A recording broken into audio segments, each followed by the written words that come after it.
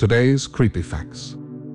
The Honolulu Strangler, also known as the Honolulu Rapist, was Hawaii's first known serial killer, active in the mid-1980s. The identity of the killer remains unknown. He was responsible for the deaths of at least five women in Honolulu, Hawaii, between 1985 and 1986.